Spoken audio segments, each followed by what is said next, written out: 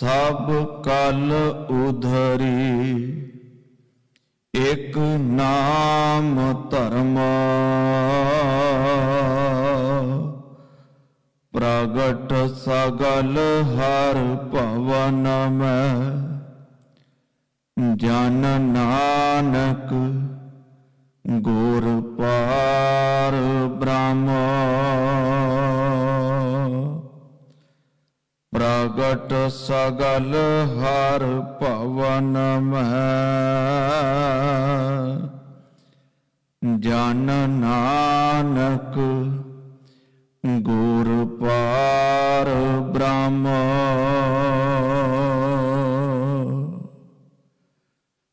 ਜੁਗ ਹੋ, ਜੁਗ ਅਟਲ ਜਬਰ ਸ਼ਤਰ ਤਖਤ ਦੇ ਮਾਲਕ, ਬਾਣੀ ਕੇ ਬੋਹਿਤ, ਧੰਨ ਧੰਨ ਧੰਨ ਸਤਿਗੁਰੂ। ਸ੍ਰੀ ਗੁਰੂ ਗ੍ਰੰਥ ਸਾਹਿਬ ਪਾਤਸ਼ਾਹ ਜੀ ਮਹਾਰਾਜ ਦੀ ਪਾਵਨ ਪਵਿੱਤਰ ਮੁਕੱਦਸ ਗੋਦ ਅੰਦਰ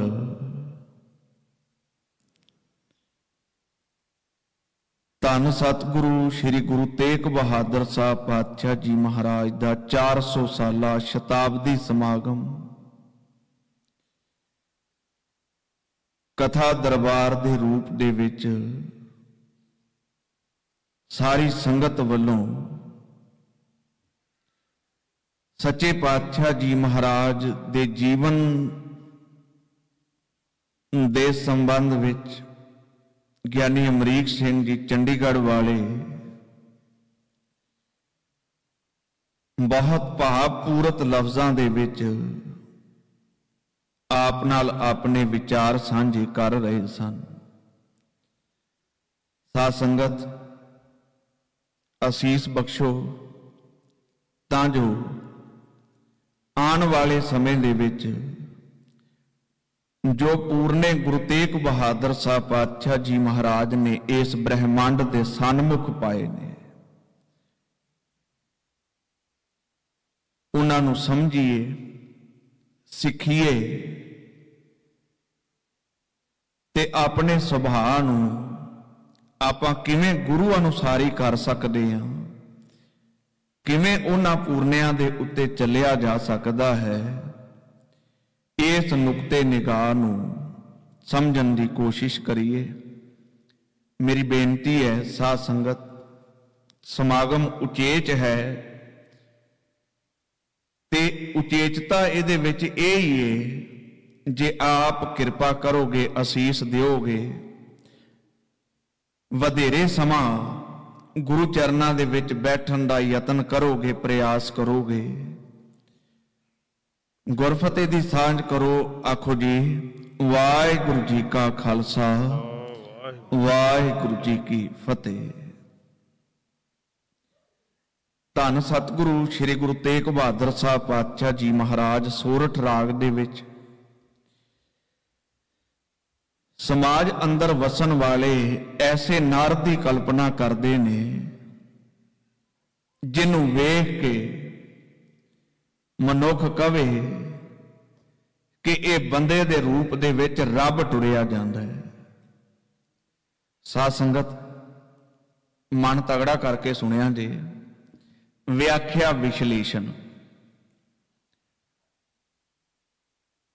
ਪਤਾ ਨਹੀਂ ਇਹ ਥਿਊਰੀ ਸੰਸਾਰ ਦੇ ਵਿੱਚ ਕਿੱਥੋਂ ਤੇ ਕਿਵੇਂ ਪ੍ਰਚਲਿਤ ਹੋਈ ਹੈ?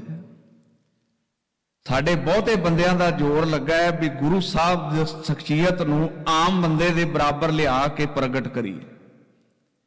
ਤੇ ਜਦੋਂ ਬੰਦੇ ਦੀ ਗੱਲ ਕਰਨਗੇ, ਫਿਰ ਕਹਿਣਗੇ, ਤੇਰੇ 'ਚ ਰੱਬ ਹੋਣ ਦੀ ਪੂਰੀ ਸੰਭਾਵਨਾ ਹੈ, ਤੂੰ ਰੱਬ ਬਣ ਸਕਦਾ ਹੈ। ਇਹ ਜਿਹੜਾ ਸਾਡੀ ਮਾਨਸਿਕਤਾ ਦੀ ਡੁਐਲਿਟੀ ਹੈ ਜਿਹੜੀ, ਦੁਚਿੱਤਾਪਨ ਹੈ ਜਿਹੜਾ ਜਦੋਂ ਗੁਰੂ ਗ੍ਰੰਥ ਸਾਹਿਬ ਪਾਤਸ਼ਾਹ ਜੀ ਮਹਾਰਾਜ ਦੇ ਵਿੱਚ ਇਹ ਬੋਲ ਆ ਗਏ ਨੇ, ਜੇ ਪਾਠ ਯਾਦ ਹੈ ਜਰੂਰ ਕਿਰਪਾ ਕਰਿਆ ਜੇ, ਜੋਤ ਰੂਪ ਹਰ ਆਪ ਗੁਰੂ ਨਾਨਕ ਕਹਾਇਓ। ਗੁਰੂ ਨਾਨਕ ਨਿਕਟ ਬਸੈ ਬਨਵਾਰੀ, ਤਿਨ ਲਹਿਣਾ ਥਾਪ ਜੋਤ ਜਗ ਧਾਰੀ। ਲਹਿਣੇ ਪੰਥ ਧਰਮ ਕਾ ਕੀਆ, ਅਮਰਦਾਸ ਭੱਲੇ ਕੋ ਦਿਆ।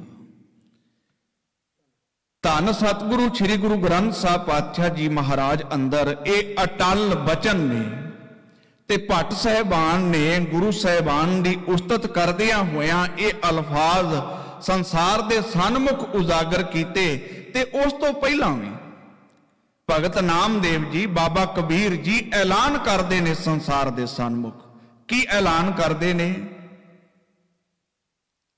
ਨਾਮੇ ਨਾਰਾਇਣ ਨਾਹੀ ਭੇਦ। ਅਬ ਤੋ ਜਾਏ ਚੜੇ ਸਿੰਘਾਸਨ, ਮਿਲੇ ਹੈ ਸਾਰੰਗ ਪਾਣੀ। ਰਾਮ ਕਬੀਰਾ ਏਕ ਭਏ ਹੈ, ਕੋਏ ਨਾ ਸਕੈ ਪਛਾਣੀ। ਹਜ਼ੂਰ ਸੱਚੇ ਪਾਤਸ਼ਾਹ ਜੀ ਮਹਾਰਾਜ ਨੇ 1103 ਅੰਗ ਦੇ ਉੱਤੇ ਬਾਬਾ ਕਬੀਰ ਜੀ ਦਾ ਬੜਾ ਪਵਿੱਤਰ ਬੋਲ ਹੈ। ਤਵੱਜੋ ਦੇ ਕੇ ਸਮਝਿਆ ਜੇ, ਹਜ਼ੂਰ ਕਹਿਣ ਲੱਗੇ, ਉਦਕ ਸਮੁੰਦ ਸਲਲ ਕੀ ਸਾਖਿਆ ਨਦੀ ਤਰੰਗ ਸਮਾਵੇਂਗੇ, ਸੁਨੈ ਸੁਨ ਮਿਲਿਆ ਸਮਦਰਸ਼ੀ ਪਵਨ ਰੂਪ ਹੋਏ ਜਾਵੇਂਗੇ। ਅੱਗੇ ਰਹਾਉ ਵਾਲਾ ਬੰਦ ਹੈ, ਬਾਬਾ ਕਬੀਰ ਜੀ ਦੇ ਬੋਲ ਨੇ। ਬਾਹਰ ਹਮ ਕਾਹੇ ਆਵੇਂਗੇ? ਆਵਣ ਜਾਣਾ ਹੁਕਮ ਤਿਸੈ ਕਾ, ਹੁਕਮੈ ਬੂਝ ਸਮਾਵੇਂਗੇ। ਜਦੋਂ ਇਸ ਸੰਸਾਰ ਦੇ ਵਿੱਚ ਆਉਣ ਦਾ ਕਾਰਨ ਸਮਝ ਆ ਗਿਆ ਹੈ, ਵਾਰ-ਵਾਰ ਜਨਮਾਂ ਜਨਮਾਂਤਰਾਂ ਦੀ ਕਹਾਣੀ ਮੇਰੇ ਸਮਝ ਵਿੱਚ ਪੈ ਗਈ ਏ ਤੇ ਮੈਂ ਉਸ ਹੁਕਮ ਨੂੰ ਬੁੱਝ ਲਿਆ। ਤੇ ਉਸੇ ਹੁਕਮ ਨੂੰ ਬੁੱਝਣ ਵਾਸਤੇ ਅਸੀਂ ਬਾਣੀ ਪੜ੍ਹਦੇ ਆਂ, ਅਸੀਂ ਸੰਗਤ ਵਿੱਚ ਆਉਂਦੇ ਆਂ, ਅਸੀਂ ਇਤਿਹਾਸ ਸਰਵਣ ਕਰਦੇ ਆਂ, ਕੀਰਤਨ ਸਰਵਣ ਕਰਦੇ ਆਂ ਤੇ ਉਸ ਸਾਰੇ ਕਾਸੇ ਨੂੰ ਅਸੀਂ ਯਤਨ ਕਰਦੇ ਹਾਂ ਕਿ ਜੋ ਸੁਣਿਆ ਹੈ ਉਸ ਨੂੰ ਸਮਝ ਕੇ ਆਪਣੇ ਜੀਵਨ ਦਾ, ਆਪਣੇ ਕਿਰਦਾਰ ਦਾ, ਆਪਣੇ ਸੁਭਾਅ ਦਾ ਹਿੱਸਾ ਬਣਾਇਆ ਜਾਏ। ਵਾਪਸ ਆ ਜਾਈਏ, ਜਿੱਥੋਂ ਮੈਂ ਬੇਨਤੀ ਪ੍ਰਾਰੰਭ ਕੀਤੀ। ਗੁਰੂ ਤੇਗ ਬਹਾਦਰ ਸਾਹਿਬ ਪਾਤਸ਼ਾਹ ਜੀ ਮਹਾਰਾਜ ਨੇ ਜੋ ਬਖਸ਼ਿਸ਼, ਜੋ ਕਿਰਪਾ ਕੀਤੀ, ਪਾਠ ਦੀ ਪ੍ਰਾਰੰਭਤਾ ਹੋਈ, ਕਹਿਣ ਲੱਗੇ, ਜੋ ਨਰ, ਜਿਹੜਾ ਮਨੁੱਖ, ਜਿਹੜਾ ਇਨਸਾਨ ਇਸ ਦੁਨੀਆ ਦੇ ਵਿੱਚ ਜਨਮ ਲੈ ਕੇ ਆਇਆ, ਉਹ ਕੀ ਕਰੇ? ਦੁੱਖ ਮੈਂ ਦੁੱਖ ਨਹੀਂ ਮੰਨੈ। ਦੁੱਖ ਹੋਵੇ ਜ਼ਰੂਰ। ਤੇ ਇਹ ਇੱਕ ਆਲਮ ਸੱਜਣ ਦੀ ਕਿਤਾਬ ਦੇ ਵਿੱਚ ਬੜੇ ਕਮਾਲ ਦੇ ਅੱਖਰ ਲਿਖੇ। ਉਹ ਕਹਿੰਦਾ ਕਿ ਪਦਾਰਥਵਾਦੀ ਯੁੱਗ ਵਿੱਚ ਪਦਾਰਥਾਂ ਦੀ ਹੋੜ ਵਿੱਚ ਲੱਗੇ ਹੋਏ ਬੰਦੇ ਨੂੰ ਸੁੱਖਾਂ ਦੇ ਸਾਧਨ ਦਿੱਤੇ ਜਾ ਸਕਦੇ ਨੇ। ਉਹ ਜੋ ਕੁਝ ਜ਼ਬਾਨ ਤੋਂ ਕਵੇ ਉਹਦੇ ਸਨਮੁਖ ਹਾਜ਼ਰ ਕਰ ਦਿਓ, ਇੱਕ ਸੈਕਿੰਡ 'ਚ ਕਰ ਦਿਓ। ਘਰ ਮੰਗੇ ਜੋ ਵੀ ਉਹ ਕਵੇ ਵਧੀਆ ਗੱਡੀ ਮੰਗੇ ਜੋ ਵੀ ਸੁੱਖ ਸਹੂਲਤ ਉਹ ਚਾਵੇ ਉਹਨੂੰ ਦੇ ਦਿਓ। ਸਾਰਾ ਕੁਝ ਦੇਣ ਤੋਂ ਬਾਅਦ ਪੁੱਛੀਏ ਵੀ ਸੱਜਣਾ ਹੁਣ ਖੁਸ਼ ਹੈ। ਕਹਿੰਦਾ ਬਾਬਾ ਜੀ ਬਾਕੀ ਤਾਂ ਸਾਰਾ ਕੁਝ ਠੀਕ ਹੈ ਵੱਡਾ ਕਾਕਾ ਨਹੀਂ ਆਖੇ ਲੱਗਦਾ। ਛੋਟੇ ਦਾ ਪਤਾ ਹੀ ਨਹੀਂ ਇਹ ਮਨ ਮਰਜ਼ੀਆਂ ਕਰਦਾ ਕਿੱਧਰ ਜਾਂਦਾ ਹੈ, ਕਿੱਧਰ ਆਉਂਦਾ ਇਹ ਵੀ ਹਕੀਕਤ ਹੈ ਸਾਧ ਸੰਗਤ। ਨਾ ਦੁੱਖ ਨੇ ਬਾਹਰੋਂ ਆਣਾ ਹੈ, ਨਾ ਸੁੱਖ ਨੇ ਬਾਹਰੋਂ ਆਣਾ ਇਹ ਸਾਡੇ ਅੰਦਰ ਹੀ ਸਾਰਾ ਕੁਝ ਵਾਹ ਵਲੇਲਾ ਚੱਲਦਾ ਪਿਆ ਏ ਤੇ ਉਸ ਨੇ ਪ੍ਰਗਟ ਵੀ ਅੰਦਰੋਂ ਹੀ ਹੋਣਾ ਹੈ। ਉਸ ਹਾਲਾਤ ਨਾਲ ਕਿਵੇਂ ਨਜਿੱਠਿਆ ਜਾ ਸਕਦਾ ਹੈ? ਇੱਕ ਸਕਾਲਰ ਇਹ ਆਪਣੇ ਲਫ਼ਜ਼ਾਂ ਨੂੰ ਇਸ ਢੰਗ ਨਾਲ ਬਿਆਨ ਕਰਦਾ ਉਹ ਕਹਿੰਦਾ ਕਿ ਸਰੀਰ ਦੇ ਇੱਕ ਹਿੱਸੇ ਸੱਟ ਲੱਗੀ ਹੈ। ਫਿਲਾਸਫੀ ਦਾ ਪੱਧਰ ਹੈ। ਤੇ ਉਹ ਅਜੇ ਠੀਕ ਨਹੀਂ ਹੋਈ। ਤੇ ਦੂਜੇ ਹਿੱਸੇ ਜ਼ਿਆਦਾ ਵੱਡੀ ਲੱਤ ਤੇ ਜ਼ਿਆਦਾ ਵੱਡੀ ਸੱਟ ਲੱਗ ਗਈ ਹੈ। ਤੇ ਭੈਣਾ ਭਰਾ, ਸਾਡਾ ਰਿਵਾਜ ਇਹ ਪੁੱਛਣ ਆਉਂਦੇ ਨੇ। ਵੈਸੇ ਤੇ ਕੋਵਿਡ ਨੇ ਹੁਣ ਆਪਾਂ ਨੂੰ ਫੋਨ ਤੇ ਹੀ ਪੁੱਛਣ ਜੋਗਾ ਛੱਡਿਆ। ਪਰਸਨਲੀ ਮਿਲ ਕੇ ਬੰਦਾ ਦੁੱਖ ਵੀ ਹੁਣ ਸਾਂਝਾ ਨਹੀਂ ਕਰ ਸਕਦਾ। ਸਾਧ ਸੰਗਤ, ਇਨਸਾਨ ਮਰਦਾ ਆਪਾਂ ਸਾਰਿਆਂ ਨੇ ਵੇਖਿਆ ਦੁਹਾਈ ਰੱਬ ਦੀ ਕੱਲ ਇਨਸਾਨੀਅਤ ਮਰਦੀ ਵੀ ਵੇਖੀ ਹੈ। ਇੱਕ ਡੈੱਡ ਬਾਡੀ ਨੂੰ ਲੱਕੜ ਦੇ ਬਾਲਿਆਂ ਦੇ ਨਾਲ ਧੱਕ ਕੇ ਪੁਸ਼ ਕਰਕੇ ਤੇ ਉਹਨੂੰ ਮਸ਼ੀਨ ਦੇ ਵਿੱਚ ਲੱਦਿਆ ਜਾ ਰਿਹਾ ਹੈ ਵੀ ਕਿਤੇ ਇਹਦੇ ਵਾਲੀ ਸਮੱਸਿਆ ਹੈ ਜਿਹੜੀ ਮੇਰਾ ਸਵਾਲ ਇਹ ਨਹੀਂ ਵੀ ਜੋ ਵਾਪਰ ਰਿਹਾ ਹੈ ਵੀ ਉਹ ਚੰਗਾ ਹੈ ਜਾਂ ਮਾੜਾ ਹੈ ਮੇਰਾ ਸਵਾਲ ਸਿਰਫ ਇਹ ਆ ਵੀ ਗਿਆਨ ਦੇ ਉੱਤੇ ਪੱਧਰ ਦਾ ਜੀਵਨ ਕੀ ਰਹਿ ਗਿਆ ਹੈ? ਵਿਗਿਆਨ ਕਿੱਥੇ ਆ? ਜੀ ਐਡੀ ਸਾਇੰਸ ਤਰੱਕੀ ਕਰ ਗਈ ਇੰਜ ਹੋ ਗਿਆ, ਉਹ ਕਿੱਥੇ ਉਹ ਸਾਰਾ ਕੁਝ ਕਿਉਂ ਨਹੀਂ ਨਜ਼ਰ ਆਉਂਦਾ ਪਿਆ? ਜਿਨ੍ਹਾਂ ਕੋਲ ਤਾਂ ਚਾਰ ਛਿੱਲੜ ਨੇ, ਉਹਨਾਂ ਦੇ ਬਾਬਤ ਤੇ ਮੈਂ ਵੀ ਪੜਿਆ ਉਹ ਮੁਲਕ ਹੀ ਛੱਡ ਕੇ ਆ ਗਏ ਨੇ ਵਿਚਾਰੇ। ਤੇ ਜਿਹੜੇ ਉੱਥੇ ਬਚੇ ਨੇ, ਉਹ ਕਿਹੜੇ ਹਾਲਾਤ ਦੇ ਵਿੱਚ ਨੇ? ਮੈਂ ਰਾਤ ਵੀ ਬੇਨਤੀ ਕੀਤੀ ਸੀ, ਸਾਡੇ ਸਾਰਿਆਂ ਦੀਆਂ ਜੜਾਂ ਉੱਥੇ ਲੱਗੀਆਂ ਨੇ, ਉੱਥੇ ਕੁਝ ਵੀ ਵਾਪਰਦਾ ਹੈ। ਤੇ ਸਾਨੂੰ ਜ਼ਰੂਰ ਹਲੂਣਾ ਮਿਲਦਾ ਹੈ। ਤੇ ਸਾਡੀ ਅੰਦਰੋਂ ਉਹਨਾਂ ਦੇ ਭਲੇ ਵਾਸਤੇ, ਚੜ੍ਹਦੀ ਕਲਾ ਵਾਸਤੇ ਅਰਦਾਸ ਨਿਕਲਦੀ ਹੈ। ਕੇਵਲ ਅਰਦਾਸ ਨਹੀਂ ਨਿਕਲਦੀ। ਹਰ ਮਨੁੱਖ ਇਹ ਸੋਚਦਾ ਹੈ, ਮੈਂ ਆਪਣੇ ਢੰਗ ਨਾਲ ਜਿਵੇਂ ਚੰਗਾ ਮਾੜਾ ਰੋਲ ਉਸ ਸਾਰੇ ਵਰਤਾਰੇ ਵਿੱਚ ਨਿਭਾ ਸਕਦਾ ਮੈਂ ਉਸ ਨੂੰ ਨਿਭਾਵਾਂ ਫਿਰ ਵਾਪਸ ਆ ਜਾਈਏ। ਜਿਹੜੀ ਮੈਂ ਬੇਨਤੀ ਕਰ ਰਿਹਾ ਸੀ ਬੜੇ ਗਜਬ ਦੀ ਉਦਾਹਰਨ ਹੈ ਸਰੀਰ ਦੇ ਇੱਕ ਹਿੱਸੇ ਸੱਟ ਲੱਗੀ ਹੈ ਉਹ ਠੀਕ ਨਹੀਂ ਹੋਈ ਦੂਜੇ ਹਿੱਸੇ ਵਿੱਚ ਹੋਰ ਵੱਡੀ ਸੱਟ ਲੱਗ ਗਈ ਹੈ। ਭੈਣ ਭਰਾ ਪੁੱਛਣ ਵਾਲੇ ਆਏ ਤੇ ਕਹਿੰਦਾ ਪਹਿਲੇ ਵਾਲੀ ਤੇ ਹੁਣ ਠੀਕ ਹੈ ਆ ਜ਼ਿਆਦਾ ਜਾਣ ਕੱਢਦੀ ਹੈ ਕਾਰਨ ਧਿਆਨ ਇੱਥੋਂ ਚੇਂਜ ਹੋ ਕੇ ਤੇ ਇੱਥੇ ਆ ਗਿਆ। ਸਾਡੇ ਸਾਰੇ ਮੈਗਜ਼ੀਨਾਂ ਨੇ ਇਹ ਖਬਰ ਛਾਪੀ ਸੀ। ਇੱਕ ਸੱਜਣ ਜੀ ਦੀ ਲੱਤ ਦੇ ਵਿੱਚ ਪ੍ਰੋਬਲਮ ਆ ਗਈ ਮੇਜਰ ਪ੍ਰੋਬਲਮ ਆ ਗਈ ਤੇ ਉਹਨੇ ਲੱਤ ਕਟਵਾਣੀ ਸੀ। ਤੇ ਡਾਕਟਰਾਂ ਨੂੰ ਕਹਿਣ ਲੱਗਾ ਵੀ ਸੱਜਣੋ, ਕਿੱਡਾ ਚੰਗਾ ਹੋਵੇ, ਜੇ ਤੁਸੀਂ ਮੈਨੂੰ ਲੱਤ ਵੱਢਣ ਤੋਂ ਪਹਿਲਾਂ ਬੇਹੋਸ਼ ਨਾ ਕਰੋ। ਤੁਸੀਂ ਜੋ ਕਹੋਗੇ, ਸਾਡੀ ਸੰਗਤ 'ਚ ਬਹੁਤ ਸਾਰੇ ਡਾਕਟਰ ਨੇ, ਸਿਆਣੇ ਵੀਰ ਬੈਠੇ ਨੇ ਤੇ ਮੈਂ ਕੋਈ ਵਧਾ ਚੜਾ ਕੇ ਨਹੀਂ ਗੱਲ ਕਰ ਰਿਹਾ। ਜੋ ਕੁਝ ਵਾਪਰਿਆ ਪਟਿਆਲੇ ਰਜਿੰਦਰਾ ਹਸਪਤਾਲ ਦੀ ਇਹ ਘਟਨਾ ਹੈ। ਜੋ ਤੁਸੀਂ ਕਹਿੰਦੇ ਹੋ, ਮੈਂ ਤੁਹਾਨੂੰ ਲਿਖ ਕੇ ਦੇਣ ਨੂੰ ਤਿਆਰ ਹਾਂ ਤੇ ਸ਼ਬਦ ਆਪਾਂ ਚੇਤੇ ਵਿੱਚ ਰੱਖਣਾ ਹੈ, ਜੋ ਨਾਰ ਦੁੱਖ ਮੈਂ, ਦੁੱਖ ਨਹੀਂ ਮਾਨੈ। ਸੁਖ ਸਨੇਹ ਅਰ ਭੈ ਨਹੀਂ ਜਾਂਕੈ, ਕੰਚਨ ਮਾਟੀ ਮਾਨੈ। ਗੁਰੂ ਤੇਗ ਬਹਾਦਰ ਸਾਹਿਬ ਪਾਤਸ਼ਾਹ ਜੀ ਮਹਾਰਾਜ ਦੇ ਜੀਵਨ ਨੇ, ਸਾਡੇ ਮਨੋਬਲ ਨੂੰ, ਸਾਡੀ ਇਮਿਊਨਿਟੀ ਨੂੰ, ਸਾਡੀ ਸਟਰੈਂਥ ਨੂੰ, ਸਾਡੀ ਵਿਲ ਪਾਵਰ ਨੂੰ ਕਿਵੇਂ, ਕਿਸ ਰੂਪ ਦੇ ਵਿੱਚ ਬਿਲਟ ਕੀਤਾ ਦੁਨੀਆ ਸਾਰੀ ਦੀ ਸਾਰੀ ਨੇਸ ਤੋਂ ਨਾਬੂਦ ਹੋ ਜਾਏ, ਜੇ ਤੇਰੇ ਅੰਦਰ ਰੱਬ ਹੈ ਤੇ ਤੂੰ ਚੜ੍ਹਦੀ ਕਲਾ ਦੇ ਵਿੱਚ ਰਵੇਂਗਾ ਤੇ ਜੇ ਰੱਬ ਭੁੱਲਿਆ ਹੋਵੇ ਦੁਨੀਆ 'ਚ ਜਿੱਥੇ ਮਰਜ਼ੀ ਰਵੇ, ਡੁੱਬਣਾ ਹੀ ਡੁੱਬਣਾ ਹੈ। ਵਾਪਸ ਆ ਜਾਈਏ। ਉਹ ਕੀ ਕਹਿੰਦਾ ਕਿ ਤੁਸੀਂ ਮੈਨੂੰ ਬੇਹੋਸ਼ ਨਹੀਂ ਕਰਨਾ, ਜੋ ਤੁਸੀਂ ਮੇਰੇ ਸਰੀਰ ਨਾਲ ਕਰਨਾ ਤੇ ਹੁਣ ਆਪਰੇਸ਼ਨ ਕਰਨ ਵਾਲੇ ਡਾਕਟਰ ਉਹਨੂੰ ਬੇਹੋਸ਼ ਨਹੀਂ ਕਰਦੇ। ਲੱਤ ਵੱਢੀ ਜਾਂਦੀ ਆਪਰੇਸ਼ਨ ਸਕਸੈਸਫੁਲ ਹੋ ਜਾਂਦਾ ਤੇ ਉਹਨੂੰ ਪੁੱਛਦੇ ਵੀ ਤੇਰਾ ਧਿਆਨ ਕਿੱਥੇ ਸੀ? ਤੇ ਉਹਦਾ ਜਵਾਬ ਬੜੇ ਗਜਬ ਦਾ ਸੀ। ਕਹਿੰਦਾ, ਮੇਰੇ ਗੁਰੂ ਨੇ ਮੇਰੇ ਤੇ ਇੰਨੀ ਕਿਰਪਾ ਕੀਤੀ ਹੈ ਮੈਂ ਜਪਜੀ ਸਾਹਿਬ ਤੇ ਆਸਾ ਦੀ ਵਾਰ ਤੇ ਸੁਖਮਣੀ ਸਾਹਿਬ ਚ ਜਦੋਂ ਧਿਆਨ ਟਿਕਾ ਲੈਣਾ ਮੇਰੇ ਸਰੀਰ ਨੂੰ ਕੀ ਵਾਪਰਦਾ ਮੈਨੂੰ ਵੀ ਨਹੀਂ ਪਤਾ ਲੱਗਦਾ। ਇਹ ਮਾਈਂਡ ਦੀ ਕਨਸੈਂਟਰੇਸ਼ਨ ਹੈ। ਇਹਦੇ ਚ ਕਰਾਮਾਤ ਜਾਂ ਕੋਈ ਇਸ ਤਰ੍ਹਾਂ ਨਹੀਂ ਹੈਗਾ ਕਿ ਜਿਹੜਾ, ਪਰ ਜਦੋਂ ਤੁਸੀਂ ਧਿਆਨ ਟਿਕਾ ਲੈਂਦੇ ਜੇ, ਇਕਾਗਰ ਹੋ ਜਾਂਦੇ ਜੇ ਫਿਰ ਵਾਪਸ ਆ ਜਾਈਏ ਜਿੱਥੋਂ ਮੈਂ ਬੇਨਤੀ ਉਹ ਵਿਦਵਾਨ ਕੀ ਲਿਖਦਾ ਹੈ? ਉਹ ਕਹਿੰਦਾ ਹੈ, ਪਦਾਰਥਵਾਦੀ ਯੁੱਗ ਵਿੱਚ ਪਦਾਰਥਾਂ ਦੀ ਹੋੜ ਵਿੱਚ ਲੱਗੇ ਹੋਏ ਮਨੁੱਖ ਨੂੰ ਸੁੱਖਾਂ ਦੇ ਸਾਧਨ ਦਿੱਤੇ ਜਾ ਸਕਦੇ ਨੇ। ਸੁਖੀ ਨਹੀਂ ਕੀਤਾ ਜਾ ਸਕਦਾ।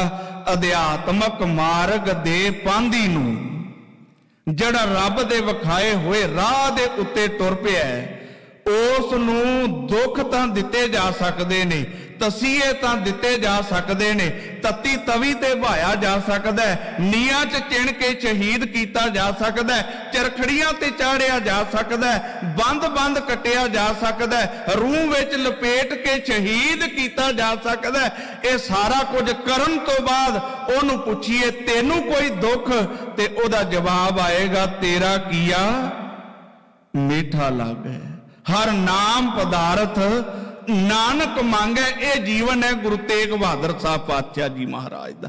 ਇਹ ਬਖਸ਼ਿਸ਼ ਹੈ ਗੁਰੂ ਤੇਗ ਬਹਾਦਰ ਸਾਹਿਬ ਪਾਤਸ਼ਾਹ ਜੀ ਮਹਾਰਾਜ ਦੀ, ਇਸ ਬ੍ਰਹਿਮੰਡ ਦੇ ਉੱਤੇ ਕਿ ਜਿੰਨਾ ਮਰਜ਼ੀ ਅਣਸੁਖਾਵਾਂ ਇਸ ਸੰਸਾਰ ਦੇ ਉੱਤੇ ਵਾਪਰ ਜਾਏ, ਤੂੰ ਸਜਣਾ ਅਡੋਲ ਰਹਿਣਾ ਤੇ ਤੁਸੀਂ ਆਪ ਆਪਣੇ ਹਿਰਦਿਆਂ ਤੇ ਹੱਥ ਰੱਖ ਕੇ ਵੇਖੋ, ਅੱਜ ਗੁਰੂ ਤੇਗ ਬਹਾਦਰ ਸਾਹਿਬ ਦੇ ਸਹਾਰੇ ਦੀ ਦੁਨੀਆ ਨੂੰ ਕਿੰਨੀ ਲੋੜ ਹੈ।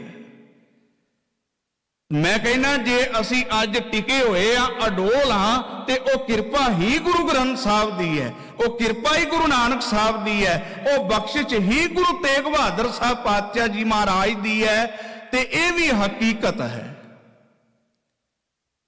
ਵੀ ਨੂਰਾ ਮਾਈ ਜਦੋਂ ਸੁਨੇਹਾ ਲੈ ਕੇ ਆਉਂਦਾ ਹੈ, ਤੇ ਚੁਪਈ ਸਾਹਿਬ ਦੇ ਇਹ ਬੋਲ, ਹਮਰੀ ਕਰੋ ਹਾਦੈ, ਰੱਛਾ ਪੂਰਨ ਹੋਏ, ਚਿੱਤ ਕੀ ਇੱਛਾ ਤਵ ਚਰਨਨ ਮਨ ਰਹੇ ਹਮਾਰਾ, ਆਪਣਾ ਜਾਨ ਕਰੋ ਪ੍ਰਤਪਾਰਾ। ਹਮਰੇ ਦੁਸ਼ਟ ਸਭੈ ਤੁਮ ਕਾਵੋ ਆਪ ਹਾਦੈ ਮੋਹੇ ਬਚਾਵੋ। ਅੱਗੇ ਤੁਸੀਂ ਕਿਰਪਾ ਕਰਿਆ ਜੀ। ਸੁਖੀ ਬਸੈ ਮੋਰੋ ਪਰਵਾਰਾ। ਹੁਣ ਭੂਬਾ ਮਾਰ ਕੇ ਰੋਂਦਾ ਨੂਰਾ ਮਾਈ। ਭੂਬਾ ਮਾਰ ਕੇ। ਪਰਿਵਾਰ ਦੋ ਅੱਖਾਂ ਦੇ ਸਾਹਮਣੇ, ਚਮਕੌਰ ਦੀ ਗੜੀ ਦੇ ਵਿੱਚ ਲੇਖੇ ਲਾ ਕੇ ਆਏ ਹੋ।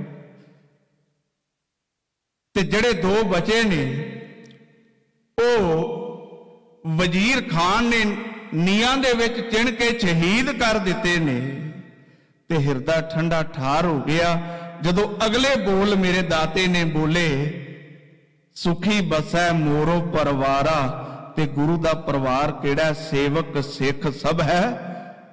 ਇਹ ਗੁਰੂ ਦਾ ਪਰਿਵਾਰ ਹੈ, ਗੁਰੂ ਦੀ ਫੈਮਿਲੀ ਹੈ।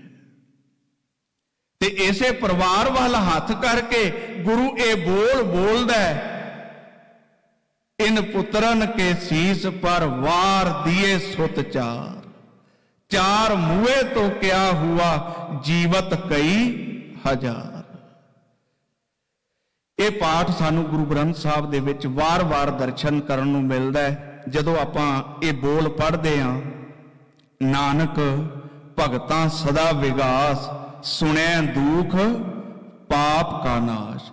ਜਦੋਂ ਆਪਾਂ ਇਹ ਪਾਠ ਦੁਹਰਾਉਂਦੇ ਆਂ, ਜੇ ਸੁਖ ਦੇ ਤਾਂ ਤੁਝੈ ਅਰਾਧੀ ਦੁੱਖ ਪੀ ਤੁਝੈ ਧਿਆਈ। ਜੇ ਭੁੱਖ ਦੇ ਤਾਂ ਇਤ ਹੀ ਰਾਜਾ, ਦੁੱਖ ਵਿੱਚ ਸੂਖ ਮਨਾਈ, ਤਨ ਮਨ ਕਾਟ ਕਾਟ ਸਭ ਅਰਪੀ। ਵਿੱਚ ਅਗਨੀ ਆਪ, ਜਲਾਈ ਪੱਖਾ ਪੇਰੀ ਪਾਣੀ ਢੋਵਾ, ਜੋ ਦੇਵੇ ਸੋ ਖਾਈ ਨਾਨਕ ਗਰੀਬ ਢਹਿ ਪਿਆ ਦੁਆਰੈ, ਹਰ ਮੇਲ ਲਹਿੋ ਵਡਿਆਈ। ਜਦੋਂ ਆਪਾਂ ਇਹ ਬੋਲ ਦੁਹਰਾਉਂਦੇ ਆਂ ਸੁਖਮਣੀ ਸਾਹਿਬ, ਗੁਰੂ ਅਰਜਨ ਸਾਹਿਬ ਪਾਤਸ਼ਾਹ ਜੀ ਮਹਾਰਾਜ, ਪ੍ਰਭ ਕੀ ਆਗਿਆ ਆਤਮ ਹਿਤਾਵੈ, ਜੀਵਨ ਮੁਕਤ ਸੋਊ ਕਹਾਵੈ, ਤੈਸਾ ਹਰਖ, ਤੈਸਾ ਉਸ ਸੋਗ, ਸਦਾ ਆਨੰਦ, ਤੈ ਨਹੀਂ ਬਿਯੋਗ ਤੈਸਾ ਸਵਰਨ, ਤੈਸੀ ਉਸ ਮਾਟੀ, ਤੈਸਾ ਅੰਮ੍ਰਿਤ ਤੈਸੀ ਬਿਕ ਖਾਟੀ, ਤੈਸਾ ਮਾਨ, ਤੈਸਾ ਅਭਿਮਾਨ, ਤੈਸਾ ਰੰਕ, ਤੈਸਾ ਰਾਜਾਨ। ਜੋ ਵਰਤਾਏ ਸਾਈ ਜੁਗਤ, ਨਾਨਕ ਉਹ ਪੁਰਖ ਕਹੀਐ, ਜੀਵਨ ਮੁਕਤ। ਭਾਈ ਮਣੀ ਸਿੰਘ, ਜਿਨ੍ਹਾਂ ਨੇ ਭਾਈ ਗੁਰਦਾਸ ਜੀ ਦੀਆਂ ਵਾਰਾਂ ਦਾ ਤਰਜਮਾ ਕੀਤਾ, ਕਵਿਤਾ ਦਾ ਤਰਜਮਾ ਕੀਤਾ ਹੈ ਭਾਈ ਮਨੀ ਸਿੰਘ ਜਿਹੜੇ ਪੁਰਾਤਨ ਸ਼ਹੀਦ ਉਹਨਾਂ ਦਾ ਨਹੀਂ ਗੱਲ ਕਰ ਰਿਹਾ ਮੈਂ ਅਜੋਕੇ ਸਿੱਖ ਨੇ। ਉਹਨਾਂ ਨੇ ਇੱਕ ਕਵਿਤ ਲਿਖਿਆ ਹੈ, ਉਹ ਕਹਿੰਦੇ, ਆਏ ਕੋ ਹਰਖ ਨਹੀਂ, ਗਏ ਕੋ ਸੋਗ ਨਹੀਂ, ਕੈਸੇ ਨਰਿੰਦਵੰਦ ਭਏ ਸਮਝਨੇ ਕੀ ਬਾਤ ਹੈ। ਅਜੇ ਅੱਗੇ ਲਾਈਨਾਂ ਸੁਣਿਆ ਜੇ ਧਿਆਨ ਨਾਲ, ਦੇ ਨੇ ਨੇਰੇ ਨਾਹੀ, ਮਨ ਕਾਹੂ ਫੇਰੇ ਨਾਹੀ, ਪਾਹਨ ਸਮਗਾਤ ਹੈ ਕਹਿੰਦਾ, ਐਸੋ ਜਬ ਗਿਆਨ ਹੋਤ, ਤਬੈ ਕਛ ਧਿਆਨ ਹੋਤ, ਬ੍ਰਹਮ ਕੇ ਸਮਾਨ ਹੋਤ, ਬ੍ਰਹਮ ਮੇ ਸਮਾਤ ਹੈ। ਇਹ ਧਿਆਨ ਬ੍ਰਹਮ ਦੇ ਵਾਂਗ ਹੈ ਤੇ ਜਿਹਨੂੰ ਇਹ ਧਿਆਨ ਹੋ ਜਾਂਦਾ ਉਹ ਬ੍ਰਹਮ ਦੇ ਵਿੱਚ ਸਮਾ ਜਾਂਦਾ ਤੇ ਧੰਨ ਸਤਿਗੁਰੂ ਸ੍ਰੀ ਗੁਰੂ ਨਾਨਕ ਸਾਹਿਬ ਪਾਤਸ਼ਾਹ ਜੀ ਮਹਾਰਾਜ, ਹੁਣ ਮੈਂ ਆਪਣੀ ਬੇਨਤੀ ਨੂੰ ਪ੍ਰਾਰੰਭ ਲੱਗਾ ਕਰਨ ਤਵੱਜੋ ਦੇ ਕੇ ਸਮਝਿਆ ਜੇ ਨੁਕਤੇ ਨੂੰ। ਇਸ ਕਿਰਦਾਰ ਨੂੰ ਪੰਚ ਪ੍ਰਵਾਨ ਪੰਚ ਪ੍ਰਧਾਨ ਕਹਿੰਦੇ। ਤੇ ਪੰਚ ਦਾ ਮਤਲਬ ਇੱਥੇ ਬਿਲਕੁਲ ਵੀ ਪੰਜ ਨਹੀਂ ਹੈਗਾ। ਇਹਨੂੰ ਸਾਨੂੰ ਸੰਜੀਦਗੀ ਨਾਲ ਸਮਝਣਾ ਪਵੇਗਾ। ਜਦੋਂ ਆਪਾਂ ਭਾਈ ਗੁਰਦਾਸ ਜੀ ਦੀ ਇਹ ਪੌੜੀ ਪੜ੍ਹਦੇ ਆ ਨਾ, ਪੰਜ ਪਿਆਲੇ, ਪੰਜ ਪੀਰ, ਛਟਮ ਪੀਰ ਬੈਠਾ ਗੁਰ ਭਾਰੀ, ਅਰਜੁਨ ਕਾਇਆ ਪਲਟ ਕੈ ਮੂਰਤ ਹਰ ਗੋਬਿੰਦ ਸਵਾਰੀ, ਚੱਲੀ ਪੀੜੀ ਸੋਢੀਆਂ ਰੂਪ ਦਿਖਾਵਨ ਵਾਰੋ ਵਾਰੀ, ਦਲ ਭੰਜਨ ਗੁਰ ਸੂਰਮਾ ਵੱਡ ਜੋਧਾ, ਬਹੁ ਪਰ ਉਪਕਾਰੀ ਪੰਜ ਪਿਆਲੇ ਤੇ ਪੰਜ ਪੀਰ। ਉਹ ਪੰਜ ਪਿਆਲੇ ਕਿਹੜੇ ਨੇ? ਜਿਹੜੇ ਗੁਰੂ ਗ੍ਰੰਥ ਸਾਹਿਬ ਦੇ ਵਿੱਚ ਵਾਰ-ਵਾਰ ਮੇਰੇ ਗੁਰੂ ਨੇ ਸਾਨੂੰ ਪ੍ਰੇਰਣਾ ਕਰਕੇ ਸਮਝਾਇਆ ਹਰ ਜਨ RAM ਨਾਮ ਗੁਣ ਗਾਵੇ।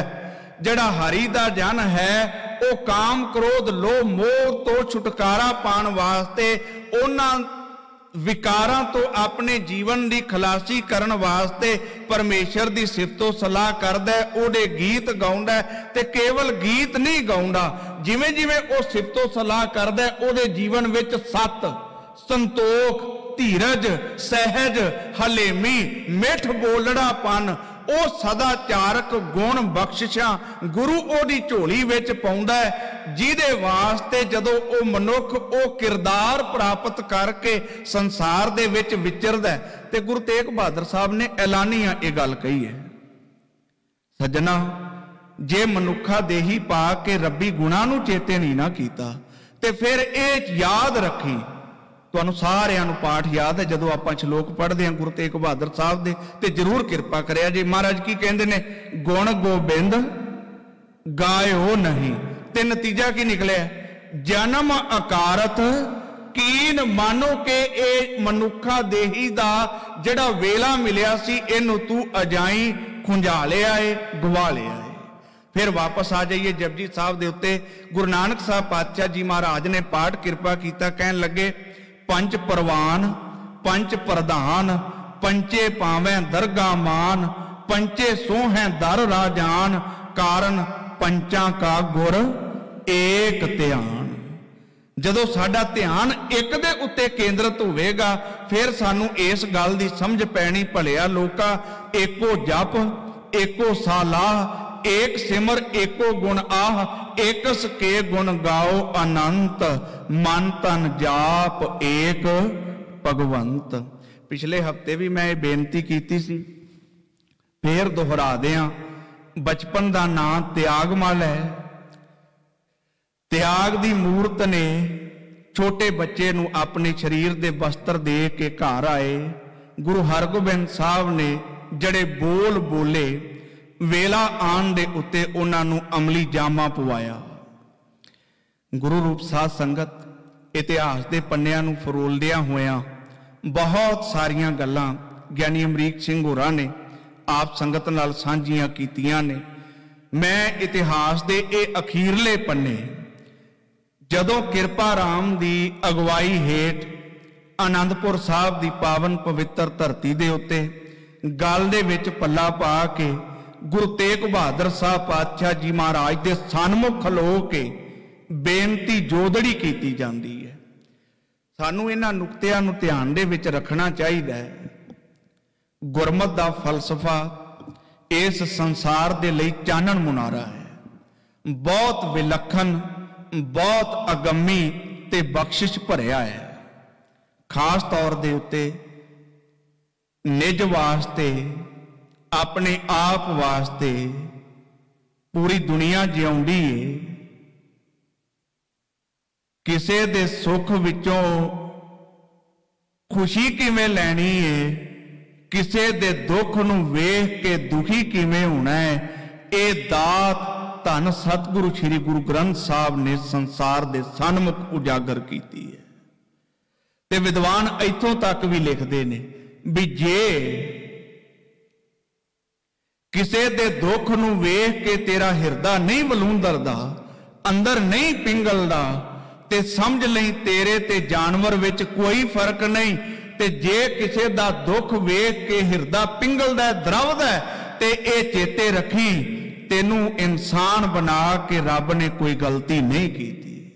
ਇਸ ਤੋਂ ਅੱਗੇ ਵੀ ਇੱਕ ਗੱਲ ਹੋਰ ਹੈ। ਸਾਨੂੰ ਤੇ ਗੁਰੂ ਗ੍ਰੰਥ ਸਾਹਿਬ ਦੀ ਪਾਵਨ ਬਾਣੀ ਨੇ ਇਹ ਸਿੱਖਿਆ ਦਿੱਤੀ, ਪਰਕਾ ਬੁਰਾ ਨਾ ਰਾਖੋ ਚੀਤ। ਤੁਸੀਂ ਦੱਸੋ ਉਹ ਮਾਨਸਿਕਤਾ ਕਿਹੋ ਜੀ ਹੋਵੇਗੀ ਜਿਹੜੇ ਆਪਣੇ ਜੀਵਨ ਦਾ ਰਾਸ ਹੀ ਕਿਸੇ ਦੇ ਦੁੱਖ ਵਿੱਚੋਂ ਮਾਣਦੇ ਨੇ? ਕਿਸੇ ਨੂੰ ਪਰੇਸ਼ਾਨ ਹੁੰਦਿਆਂ ਵੇਖ ਕੇ, ਕਿਸੇ ਨੂੰ ਘਾਟੇ ਦੇ ਵਿੱਚ ਜਾਂਦਿਆਂ ਵੇਖ ਕੇ ਇਹ ਸੋਚਦੇ ਨੇ, ਹੁਣ ਮਜ਼ਾ ਆਵੇਗਾ, ਕਿਵੇਂ ਇਸ ਸਿਚੁਏਸ਼ਨ ਨਾਲ ਨਜਿੱਠਣਗੇ? ਤੇ ਇਹ ਬੜਾ ਵੱਡਾ ਖਿਆਲ ਸਿੱਖ ਜਗਤ ਦੇ ਸਨਮੁਖ ਉੱਭਰ ਕੇ ਆਇਆ ਹੈ। ਸਾਧ ਸੰਗਤ, ਗੁਰੂ ਤੇਗ ਬਹਾਦਰ ਸਾਹਿਬ ਪਾਤਸ਼ਾਹ ਜੀ ਮਹਾਰਾਜ ਨੂੰ ਵੀ ਪਤਾ ਸੀ। ਇਹ ਮੈਂ ਕਈ ਵਾਰੀ ਲੈਣਾ ਸੁਣਾਈਆਂ ਨੇ, ਫੇਰ ਕਹਿ ਜਾਣਾ ਜਦੋਂ ਗੁਰੂ ਤੇਗ ਬਹਾਦਰ ਸਾਹਿਬ ਪਿੰਜਰੇ ਵਿੱਚ ਕੈਦ ਨੇ ਤੇ ਉਹ ਕਵੀ ਆਪਣੇ ਖਿਆਲ ਦਰਜ ਕਰਦਾ ਹੈ। ਤੇ ਉਹ ਖਿਆਲ ਬੜੇ ਗਜਬ ਦੇ ਨੇ। ਕਹਿੰਦਾ ਕਿ ਗੁਰੂ ਤੇਗ ਬਹਾਦਰ ਸਾਹਿਬ ਪਾਤਸ਼ਾਹ ਜੀ ਮਹਾਰਾਜ, ਮੈਨੂੰ ਤੁਸੀਂ ਇਹ ਦੱਸੋ ਵੀ ਜਿਹੜੇ ਲੋਕਾਂ ਦੇ ਵਾਸਤੇ ਤੁਸੀਂ ਇਹ ਸਾਰਾ ਕੁਝ ਕਰ ਰਹੇ ਹੋ, ਤੁਹਾਨੂੰ ਯਕੀਨ ਹੈ ਕਿ ਜਦੋਂ ਸਿੱਖ ਕੌਮ ਨੂੰ ਲੋੜ ਪਵੇਗੀ ਤੇ ਇਹ ਤੁਹਾਡੇ ਨਾਲ ਖਲੋਣਗੇ? ਤੇ ਉਹਦਾ ਜਵਾਬ ਬੜੇ ਗਜਬ ਦਾ ਸੀ। ਨਿਰੰਕਾਰ ਨੇ ਜੋ ਸਿੱਖਾਂ ਦੇ ਹਿੱਸੇ ਦਾਤ ਬਖਸ਼ਿਸ਼ ਕੀਤੀ ਹੈ, ਉਹਨੂੰ ਸਿੱਖ ਨਿਭਾਣਗੇ, ਜੋ ਇਹਨਾਂ ਨੂੰ ਇਹਨਾਂ ਦੇ ਵਿਰਸੇ ਵਿੱਚੋਂ ਮਿਲਿਆ, ਉਸ ਨੂੰ ਇਹ ਪਗਾਣਗੇ। ਇਹ ਗੱਲ ਹੋਰ ਚੇਤੇ ਰੱਖਿਆ ਜੀ ਤੇ ਬੜੀ ਸ਼ਿੱਦਤ ਨਾਲ ਸੁਣਿਆ ਜੀ। ਬਹੁ ਗਿਣਤੀ ਨੇ ਆਪਣੇ ਨੈਰੇਟਿਵ ਨੂੰ ਪ੍ਰਚਾਰਨ ਵਾਸਤੇ ਇਹ ਬੜਾ ਗਜਬ ਦਾ ਖਿਆਲ ਘੜਿਆ ਦੁਨੀਆ ਦੇ ਸਨਮੁਖ ਵੀ ਸਿੱਖ ਹਿੰਦੂਆਂ ਦੀ ਰੱਖਿਆ ਵਾਸਤੇ ਬਣੇ ਨੇ।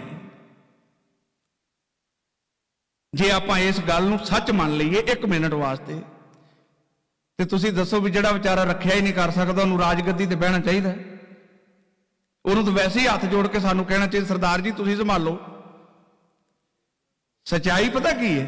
ਸਚਾਈ ਇਹ ਹੈ ਵੀ ਜਿੱਥੇ ਤੇ ਨਿਸ਼ਾਨ ਸਾਹਿਬ ਦੀ ਲੋੜ ਹੈ, ਉੱਥੇ ਤੇ ਬੋਲੇ ਸੋਹਣੇ ਹਾਲੇ ਤੇ ਜਿੱਥੇ ਧੌਣ ਵੱਢਣੀ ਹੈ, ਉੱਥੇ ਫਿਰ ਤੁਹਾਡੇ ਸਾਹਮਣੇ ਜੋ ਕੁਝ ਅਕਾਲ ਤਖਤ ਦੇ ਉੱਤੇ ਕੀਤਾ ਤੇ ਸਾਡੀ ਮਾਨਸਿਕਤਾ ਇਹ ਆ, ਅੱਧੇ ਕੋ ਆਪਾਂ ਇੱਧਰ ਹੋ ਜਾਂਦੇ ਆ ਅੱਧੇ ਕੋ ਆਪਾਂ ਇੱਧਰ ਹੋ ਜਾਂਦੇ ਆ ਕਿਉਂਕਿ ਉਹਦੇ ਪੱਤੇ ਹੀ ਇੰਨੇ ਨੇ ਖੋਲੇ ਹੋਏ ਵੀ ਸਾਨੂੰ ਪਤਾ ਹੀ ਨਹੀਂ ਲੱਗਦਾ ਵੀ ਕਿਹੜੇ ਵੇਲੇ ਉਹਨੇ ਕਿਹੜਾ ਦਾਲ ਆ ਜਾਣਾ।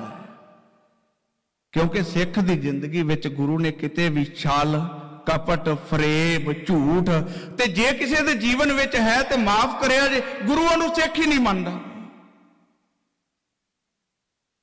ਤੇ ਉਹ ਚਨਕਿਆ ਨੀਤੀ ਮੈਂ ਸਾਰੀ ਦੀ ਸਾਰੀ ਪੜ੍ਹੀ ਹੈ ਉਹ ਉਹਨੂੰ ਲੀਗਲੀ ਪ੍ਰੂਵ ਕਰਦੇ ਨੇ ਵੀ ਜੇ ਤੁਸੀਂ ਕਿਸੇ ਦੀ ਪਿੱਠ ਚ ਛੁਰਾ ਖੋਪ ਦਿੰਦੇ ਜੇ, ਉਹ ਵੀ ਯਾਰ ਬਣਾ ਕੇ, ਯਾਰ ਮਾਰ ਕਰਕੇ ਤੇ ਇਹ ਗਲਤ ਨਹੀਂ ਹੈਗਾ, ਇਹ ਰਾਜਨੀਤੀ ਹੈ ਇਹ ਰਾਜਨੀਤੀ ਦਾ ਹਿੱਸਾ ਹੈ ਤੇ ਮੇਰੇ ਖਿਆਲ ਵਿੱਚ ਜਿਹੜੀ ਮੈਂ ਬੇਨਤੀ ਕਰਨ ਲੱਗਾ ਸਾਂ ਵੀ ਗੁਰੂ ਤੇਗ ਬਹਾਦਰ ਸਾਹਿਬ ਪਾਤਸ਼ਾਹ ਜੀ ਮਹਾਰਾਜ ਨੂੰ ਵੀ ਪਤਾ ਸੀ ਵੀ ਇਹ ਸੱਕੇ ਕਿਸੇ ਦੇ ਨਹੀਂ। ਤੇ ਅੱਜ ਆਕਸੀਜਨ ਵੰਡਣ ਵਾਲੇ ਭਰਾਵਾਂ ਨੂੰ ਵੀ ਪਤਾ ਹੈ ਵੀ ਇਹ ਮਾਂ ਦੇ ਪੁੱਤਰ ਸੱਕੇ ਕਿਸੇ ਦੇ ਨਹੀਂ। ਇਹਨਾਂ ਨੇ ਜਦੋਂ ਵੇਲਾ ਇਹ ਲੰਘ ਗਿਆ ਤੇ ਫੇਰ ਸਾਡੇ ਸਾਹਮਣੇ ਆਪਣਾ ਉਹ ਰਾਖਸ਼ਾਂ ਵਾਲਾ ਰੂਪ ਲੈ ਕੇ ਖੜੇ ਹੋ ਜਾਣਾ। ਸਾਰੇ ਕਿਰਪਾ ਕਰਿਆ ਜੇ ਦੋ ਪੰਕਤੀਆਂ ਮੈਂ ਪੜ੍ਹਨੀਆਂ ਚਾਹੁੰਦਾ, ਫਿਰ ਗੱਲ ਨੂੰ ਅੱਗੇ ਤੋਰਨਾ। ਗੁਰਵਡ ਭਾਗੀ ਪਾਇਆ ਐਸਾ, ਗੁਰਵਡ ਭਾਗੀ ਪਾਇਆ, ਗੁਰਵਡ ਭਾਗੀ ਪਾਇਆ ਐਸਾ, ਗੁਰਵਡ ਭਾਗੀ ਪਾਇਆ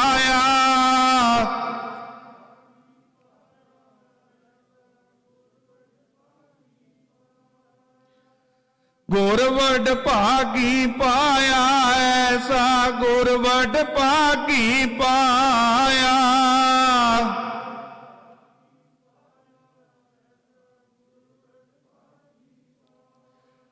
ਭੂਲੇ ਮਾਰਗ ਜਿਨੇ ਬਤਾਇਆ, ਭੂਲੇ ਮਾਰਗ ਜਿਨੇ ਬਤਾਇਆ।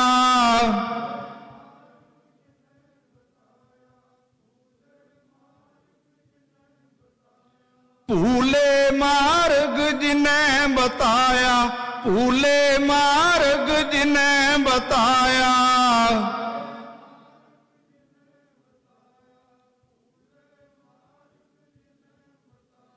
ਗੁਰਵਡ ਭਾਗੀ ਪਾਇਆ ਐਸਾ, ਗੁਰਵਡ ਭਾਗੀ ਪਾਇਆ।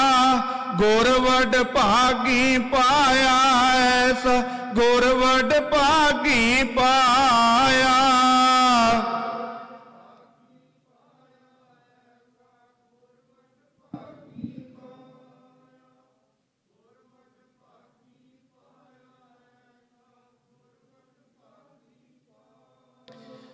ਸਾਧ ਸੰਗਤ ਸੱਚੀ ਮੁੱਚੀ ਗੁਰੂ ਤੇਗ ਬਹਾਦਰ ਸਾਹਿਬ, ਗੁਰੂ ਨਾਨਕ ਸਾਹਿਬ, ਗੁਰੂ ਗ੍ਰੰਥ ਸਾਹਿਬ ਵਰਗਾ ਗੁਰੂ ਮੁਰਸ਼ਦ ਵੱਡਿਆਂ ਭਾਗਾਂ ਦੇ ਨਾਲ ਮਿਲੇ। ਐਸਾ ਨਿਰਭਾਵਨਾ ਵਾਲਾ ਜੀਵਨ ਜਿਹੜਾ ਰੋਜ਼ ਇਹ ਪੜਦਾ ਹੋਵੇ, ਨਾਨਕ, ਨਾਮ ਚੜ੍ਹਦੀ ਕਲਾ, ਤੇਰੇ ਭਾਣੇ ਸਰਬੱਤ ਦਾ ਭਲਾ। ਜਿਹੜਾ ਤਰਸ ਹੈ ਨਾ ਕਿਸੇ ਤੇ ਤਰਸ, ਜੇ ਉਹ ਕਿੱਡੀ ਵੱਡੀ ਮਜਬੂਰੀ ਹੋਵੇ ਤੇ ਨਹੀਂ ਆਉਂਦਾ। ਤੇ ਮਾਫ ਕਰਿਆ ਜੇ ਉਹ ਬੰਦਾ ਧਰਮੀ ਨਹੀਂ ਹੋ ਸਕਦਾ। ਧਰਮ ਦਾ ਮੂਲ ਹੀ ਤਰਸ ਹੈ, ਦਇਆ ਹੈ, ਮਰਸੀ ਹੈ। ਕਿੰਨੇ ਕਿਰਸਾਨ ਵੀਰ ਨੇ ਜਿਹੜੇ ਚੜ੍ਹਾਈ ਕਰ ਗਏ ਟਸ ਤੋਂ ਮਸ ਨਹੀਂ ਹੋਏ ਜਲਾਦ ਲੋਕ। ਮਾਫ ਕਰਿਆ ਜੇ। ਗੁਰੂ ਤੇਗ ਬਹਾਦਰ ਸਾਹਿਬ ਪਾਤਸ਼ਾਹ ਜੀ ਮਹਾਰਾਜ ਦਾ ਜੀਵਨ ਫਰੋਲਦੇ ਆ ਇੱਕ ਗੱਲ ਮੈਂ ਹੋਰ ਤੁਹਾਡੇ ਧਿਆਨ ਵਿੱਚ ਲਿਆਣੀ ਚਾਹੁੰਦਾ, ਫਿਰ ਆਪਾਂ ਅਗਲੀ ਗੱਲ ਕਰਦੇ ਆ ਤੁਹਾਨੂੰ ਲੱਗਦਾ ਹੈ? ਜੇ ਕਿਰਪਾ ਰਾਮ ਦੀ ਥਾਂ ਦੇ ਉੱਤੇ ਸਾਈਂ ਮੀਆਂ ਮੀਰ ਜਾਂ ਹੋਰ ਮੁਸਲਮਾਨ ਵੀਰ ਗੁਰੂ ਤੇਗ ਬਹਾਦਰ ਸਾਹਿਬ ਕੋਲ ਆਉਂਦੇ, ਤੇ ਉਹ ਗੁਰੂ ਤੇਗ ਬਹਾਦਰ ਸਾਹਿਬ ਪਾਤਸ਼ਾਹ ਜੀ ਮਹਾਰਾਜ ਨੂੰ ਕਹਿੰਦੇ, ਦਾਤਾ ਜੀ, ਅਸੀਂ ਖਤਰੇ ਦੇ ਵਿੱਚ ਆ ਸਾਡਾ ਧਰਮ ਖਤਰੇ ਵਿੱਚ ਹੈ। ਤੇ ਕੀ ਗੁਰੂ ਤੇਗ ਬਹਾਦਰ ਸਾਹਿਬ ਪਾਤਸ਼ਾਹ ਜੀ ਮਹਾਰਾਜ ਨੇ ਉਹਨਾਂ ਨੂੰ ਕਹਿਣਾ ਸੀ ਵੀ ਤੁਸੀਂ ਭਾਈ ਮੁਸਲਮਾਨ ਹੋ, ਮੈਂ ਤੁਹਾਡੇ ਨਾਲ ਨਹੀਂ ਜਾ ਸਕਦਾ, ਮੈਂ ਤੁਹਾਡੇ ਵਾਸਤੇ ਕੁਝ ਨਹੀਂ ਕਰ ਸਕਦਾ। ਇੱਕ ਸਾਡੀ ਜਿਹੜੀ ਵਿਆਖਿਆ ਦਾ ਵਿਸ਼ਲੇਸ਼ਣ ਹੈ, ਇਹਨੂੰ ਹੋਰ ਅੱਗੇ ਲਿਜਾ ਕੇ ਸੋਚਣ ਦੀ ਲੋੜ ਹੈ। ਜਦੋਂ ਗੁਰੂ ਤੇਗ ਬਹਾਦਰ ਸਾਹਿਬ ਨਾਲ ਆਨੰਦਪੁਰ ਸਾਹਿਬ ਦੇ ਵਿੱਚ ਗੱਲ ਹੋਈ, ਇਹ ਸਾਰੇ ਬੋਲ ਬੋਲੇ ਗਏ ਵੀ ਸਾਡੀ ਰੱਖਿਆ ਕਰੋ। ਤੇ ਬੜਾ ਸਪਸ਼ਟ ਜਵਾਬ ਗੁਰੂ ਤੇਗ ਬਹਾਦਰ ਸਾਹਿਬ ਪਾਤਸ਼ਾਹ ਜੀ ਮਹਾਰਾਜ ਨੇ ਦਿੱਤਾ ਕਿ ਔਰੰਗਜ਼ੇਬ ਤੇ ਉਹਦੇ ਪੈਰੋਕਾਰਾਂ ਨੂੰ ਜਾ ਕੇ ਕਹਿ ਦਿਓ ਵੀ ਜੇ ਉਹ ਮੈਨੂੰ ਇਸਲਾਮ ਵਿੱਚ ਲੈ ਆਉਣ, ਤੇ ਫਿਰ ਅਸੀਂ ਬਾਕੀ ਸਾਰੇ ਦੇ ਸਾਰੇ ਇਸਲਾਮ ਕਬੂਲ ਕਰ ਲਾਂਗੇ। ਪਰ ਜੇ ਉਹ ਮੈਨੂੰ ਈਨ ਨਾ ਮਨਾ ਸਕੇ, ਤੇ ਫਿਰ ਦੁਹਾਈ ਰੱਬ ਦੀ ਜਿਹੜਾ ਜ਼ੁਲਮ ਤੂੰ ਕਰਨਾ ਪਿਆ, ਇਹਨੂੰ ਬੰਦ ਕਰ ਦੇਈ ਤੇ ਇਸ ਗੱਲ ਨੂੰ ਬੇਨਤੀ ਕਰਨ ਵਾਲੇ ਸੱਜਣ ਜਿਹੜੇ ਕਿਰਪਾ ਰਾਵ ਦੀ ਅਗਵਾਈ ਹੇਠ ਆਏ ਸੀ, ਉਹ ਵੀ ਮੰਨਦੇ ਨੇ। ਮੈਂ ਬਹੁਤੀਆਂ ਗੱਲਾਂ ਜਾਂ ਉਲਝਣ ਚ ਨਾ ਪਾਵਾਂ, ਤੁਹਾਨੂੰ ਨਾ ਆਪ ਪਾਵਾਂ। ਮੈਂ ਸਿੱਧੀ ਸਿੱਧੀ ਬੇਨਤੀ ਕਰਨ ਲੱਗਾ, ਜੇ ਸਾਡਾ ਵਿਰਸਾ ਅਮੀਰ ਹੈ, ਜੇ ਸਾਡੇ ਘਰ ਦੇ ਵਿੱਚ ਹੀਰੇ, ਮੋਤੀ, ਚਾਂਦੀ, ਸੋਨਾ ਤੇ ਗਹਿਣੇ ਪਏ ਨੇ, ਤੇ ਇਹਦੀ ਰਾਖੀ ਲੋਕਾਂ ਨਹੀਂ ਜੇ ਕਰਨੀ। ਇਸ ਸਾਡਾ ਘਰ ਵੀ ਸਾਨੂੰ ਆਪ ਸੰਭਾਲਣਾ ਪਵੇਗਾ ਤੇ ਸੰਸਾਰ ਦੀ ਸੰਭਾਲ ਵੀ ਇਸ ਵਿਰਸੇ ਨੂੰ ਸੰਭਾਲਦਿਆਂ ਸਾਨੂੰ ਕਰਨੀ ਪਵੇਗੀ। ਜੇ ਸਿੱਖ ਦਾ ਕਿਰਦਾਰ ਗੁਰੂ ਵਰਗਾ, ਗੁਰੂ ਆਸ਼ੇ ਵਰਗਾ, ਗੁਰਬਾਣੀ ਵਰਗਾ ਹੋਵੇਗਾ, ਤੇ ਫਿਰ ਸਾਨੂੰ ਸੰਸਾਰ ਜੋ ਮਰਜ਼ੀ ਆਪਣੇ ਢੰਗ ਨਾਲ ਬਿਆਨਦਾ ਰਹੇ ਸਾਨੂੰ ਕੋਈ ਫ਼ਰਕ ਨਹੀਂ ਪੈਣਾ। ਤੁਸੀਂ ਇਸ ਸ਼ਬਦ ਨੂੰ ਜੇ ਧਿਆਨ ਵਿੱਚ ਰੱਖ ਲਓ, ਜੋ ਨਾਰ ਦੁੱਖ, ਮੈਂ ਦੁੱਖ ਨਹੀਂ ਮਾਨੈ। ਸੁਖ, ਸਨੇਹ ਅਰ ਭੈ ਇਹਦਾ ਬੰਦਾ ਦੁਨੀਆ 'ਚ ਕਿਹੜਾ ਹੋ ਸਕਦਾ ਵੀ ਪੁੱਤਰ ਦੀ ਲਾਸ਼ ਸਾਹਮਣੇ ਪਈ ਹੋਵੇ ਤੇ ਉਹਦੀਆਂ ਅੱਖਾਂ 'ਚੋਂ ਪਾਣੀ ਨਾ ਆਵੇ?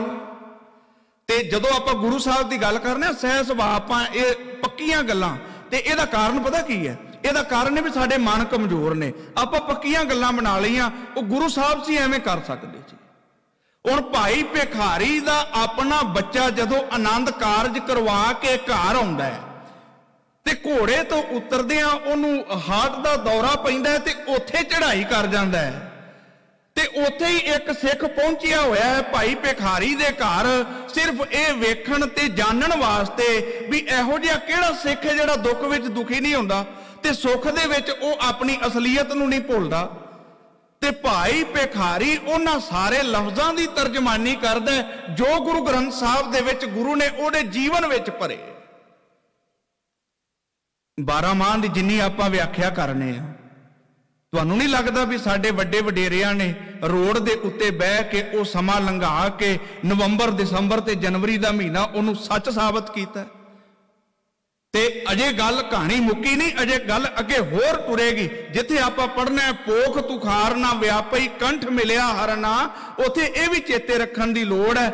ਆਸਾੜਤ ਪੰਦਾ ਤਿਸ ਲੱਗੈ, ਤੇ ਇਹ ਸਿੱਖ ਦਾ ਕਿਰਦਾਰ ਹੈ, ਸਿੱਖ ਦਾ ਜੀਵਨ ਹੈ, ਜਿਹੜਾ ਗੁਰੂ ਬਾਣੀ ਦੇ ਰਾਹੀਂ ਘੜਿਆ ਗਿਆ ਹੈ। ਜਿਹੜਾ ਗੁਰੂ ਦੀ ਬਖਸ਼ਿਸ਼ ਦੇ ਨਾਲ ਇਸ ਸੰਸਾਰ ਦੇ ਸਨਮੁਖ ਉਜਾਗਰ ਹੋਇਆ ਹੈ। ਸਿਰਫ ਗੱਲਾਂ ਨਾਲ ਨਹੀਂ ਕਿ ਹੁਣ ਉਹ, ਤੇ ਤੁਸੀਂ ਦੱਸੋ ਵੀ ਅਮਰੀਕਾ ਵਿੱਚ ਸਭ ਤੋਂ ਵੱਡੀ ਪ੍ਰੋਬਲਮ ਡਿਪਰੈਸ਼ਨ ਹੈ। ਕਾਰਨ ਜੇ ਅਸੀਂ ਰੋਜ਼ ਇਸ ਸਾਰੀ ਗੱਲ ਨੂੰ ਵਾਚਾਂਗੇ ਦੁਹਰਾਵਾਂਗੇ ਵੀ ਸਾਡੇ ਵੱਡੇ ਵਡੇਰਿਆਂ ਨੇ ਤੇ ਆਹ ਕੁਝ ਕਰ ਦਿੱਤਾ ਤਾਂ ਪ੍ਰਵਾਹ ਨਹੀਂ ਮੰਨੀ।